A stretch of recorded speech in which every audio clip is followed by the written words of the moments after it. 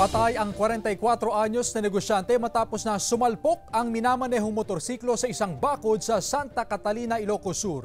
Yan ang balitang tinutukan ni Ivy Hernando.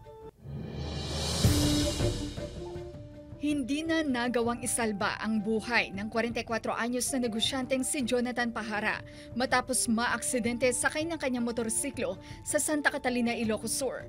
Sumalpok ang biktima sa isang bakod. Matinding tama sa ulo ang kanyang ikinasawi. Kwento raw ng mga huling nakasama ng biktima. Flat din ang gulong ng motorsiklo nito nang mangyari ang aksidente. Umun-una da, di kadwa na, yun kan nag-overtake iso na ma'am. Ganyan daw ka, wamot iso ng tagaya mo na disgrasya mo. Siguro na-miscalculate niya.